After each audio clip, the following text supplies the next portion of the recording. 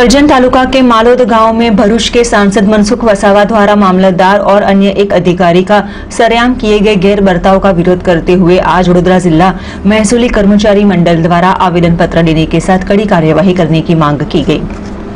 करजन तालुका के मालोद गाँव में भरूच के सांसद मनसुख वसाह द्वारा सरेआम मामलतदार और अधिकारी के साथ किए गए गैर बर्ताव की प्रत्याघाती असर के भागरूप आज वडोदरा जिला महसूली कर्मचारी मंडल द्वारा सांसद और पदाधिकारी के खिलाफ कड़ी कार्यवाही करने की मांग करते हुए आवेदन पत्र दिया गया।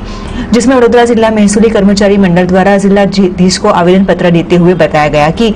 मालोद गाँव में रोड हादसे की घटना के बाद भरूच के सांसद मनसुख वसावा और करजन के पूर्व विधायक सतीश निसाड़िया द्वारा स्थल पर मुलाकात ली गई थी, जिसमें आवेश में आकर सांसद और पूर्व विधायक ने मामलतदार एन के प्रजापति और सर्कल ऑफिसर को पुलिस अधिकारी तथा अन्य लोगों की मौजूदगी में विभत्स गाली गलोच करने के साथ उनका अपमानजनक गैर बर्ताव किया गया था, जिसका विरोध करते हुए आज महसूली मंडल द्वारा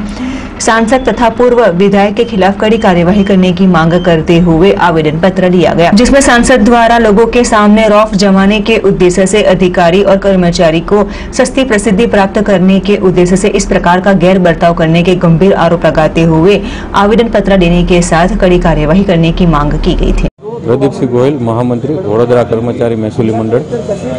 ગઈકાલે જે રીતે સંસદ સભ્યશ્રી દ્વારા જાહેરમાં સર્કલ ઓફિસર તથા મામલતદારશ્રીનું ખોટી રીતે, ખોટી ભાષામાં, અભદ્ર ભાષામાં જે રીતે એમનું અપમાન કરવામાં આવેલ છે, તે બાબતે આજરોજ તમામ કર્મચારીઓ એકઠા થયા છે. અને આ રીતે ખોટી રીતે જાહેરમાં ક્યારેય કોઈ જોડે કોઈ પણ સંસદ સભ્ય, ધારાસભ્ય કે પદાધિકારીશ્રી દ્વારા